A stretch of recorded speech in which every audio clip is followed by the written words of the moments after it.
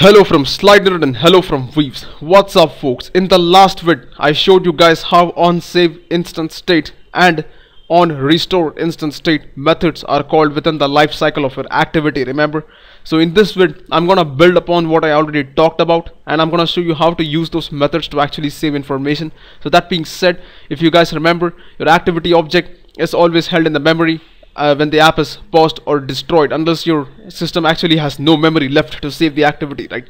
So that being said whenever your activity is paused your on save instance state is called to save information. Now remember as I mentioned already there are two types of information. One is the database one and other is something which you temporarily need. For example if you're playing temple run on your android app you need to keep a track of the score right? Just because you rotate the device the score doesn't become zero does it? So in those cases those kinds of information that you need only when your app is running are stored and saved inside your on save instance state method.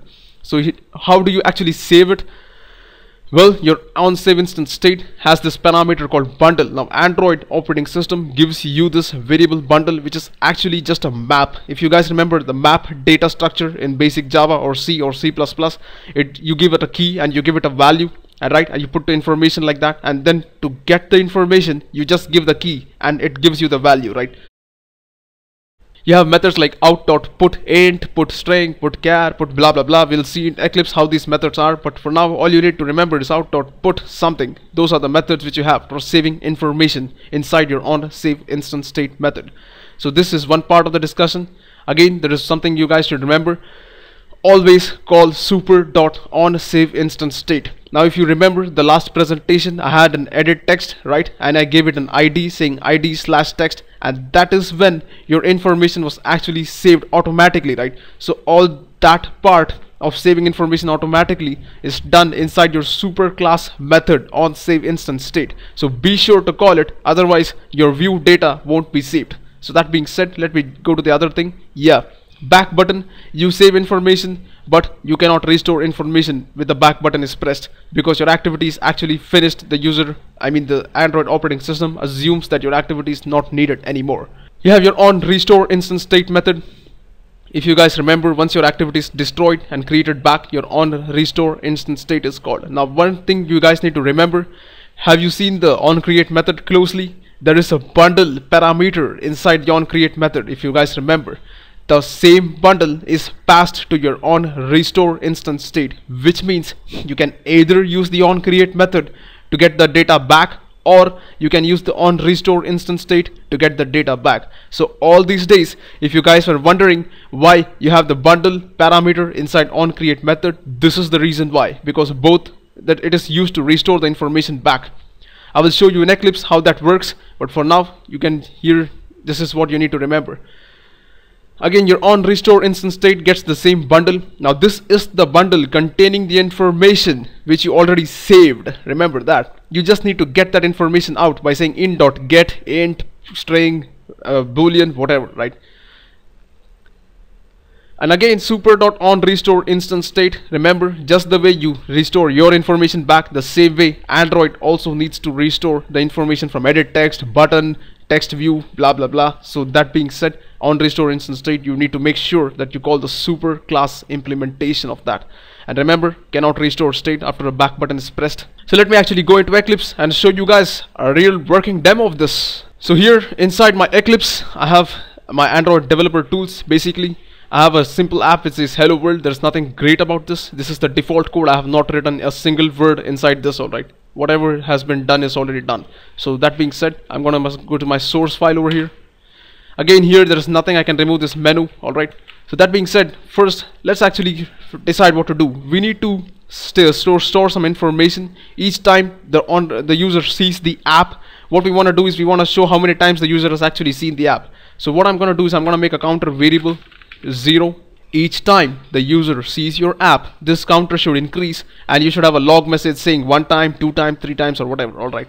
Now if you guys remember when does the user see the app? The user sees the app when your on resume method is called. So that being said I'm gonna go here and overwrite on resume control space right? So you can avoid the task of writing everything.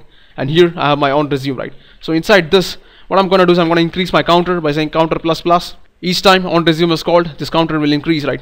And now whenever my activity is paused right I need to save that information. For, for that I'm gonna say on save instance state control space again for having the auto complete. So this bundle out state this is the map or you can say the bag inside which I should put my information. So I'm gonna say out state dot put int. I'll call the value key as counter and I'll put the value inside as counter. Alright I'm just giving this a name calling counter and this is the actual value which I'm saving inside this map. So whenever my on save instance state is called this value is going to be saved. That the counter value. Now whenever my activity is destroyed and created back if you guys remember on restore instance state gets called. So I'm gonna go ahead and override that again saying control space on restore instance state. So here what I'm gonna do is I'm gonna simply get that information out. If you remember this bundle which you have here is actually the information contained inside right so I'm gonna say saved instance state dot get and I'm gonna give the same counter over here right? And that is gonna give me back my integer. So which I can uh, say over here by saying uh, int value something like this. Or I can actually say counter itself. No need for int value. I can say counter equals to this. So whenever I save my value it's actually saved instance state dot get int. That should do the perfect trick. So whenever I'm saving my value what I'm gonna do is I'm gonna have a log statement over here by saying log dot d and I'm gonna give a tag called vivs and I'm gonna say the message as counter and I'm gonna say was saved alright the same thing I'm gonna copy paste and when I'm restoring restoring my values over here I'm gonna say counter was restored. So let's basically see what we have done. We have a counter is zero all right? Each time our app is visible to the user inside on resume we are increasing the counter. Each time our activity is about to be uh, after, pausing it we are saving the activity data. This counter variable is saved inside this bundle object and we are logging that right? That means we are going to see these messages over here inside the log cat and here I'm restoring the value back right? So let me actually run this by selecting this over here and clicking run on it. Android application okay. So now as you guys can see our app has started right? So if we actually go to the home screen if you remember pause will be called on save instance state will be called right? So that being said let's take a look. It says one was saved. That is you remember on resume we increase the counter by one. Again I go inside my app over here inside the app widget section. I start my app by saying demo with states. That's two times because on resume has increased now right? So let me actually rotate the screen by saying control F11 now if you remember 2 was saved and again 2 was restored. Remember? Because your activity was destroyed and after destruction on restore instance state is called and hence the value 2 will be restored over here by saying out state here inside this part where we say uh, outstate dot get int the value 2 which is already passed inside this will be restored right? So but remember one thing if you press the back button everything is screwed. So if you press the back over here and we are dead. So now if I click on my app demo with states after my back button was pressed if you go back here the app has started right? If I go to my home screen now take a look it says one was saved. It was not two which was saved because if you remember it go it went back all the way to zero and inside on resume it went by saying counter plus plus to one and then here actually one was saved. That means whenever you press the back button your information cannot be restored. So i hope you guys have understood something out of this vid. If you like what you saw please subscribe to my channel comment let me know your thoughts. I would love to hear from you guys. Thanks for watching. Stay tuned. There will be more vids on android. I'll catch you guys later. Have a nice day